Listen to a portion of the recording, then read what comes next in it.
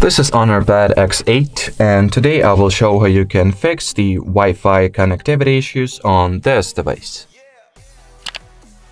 So if you have the proper Wi-Fi network connection but the internet still isn't there, first thing that you might want to check is whether your time and date are set correctly or actually correspond to any existing time zone, which you can do by going into settings, system and updates, date and time and simply turn on the automatic date and time toggle.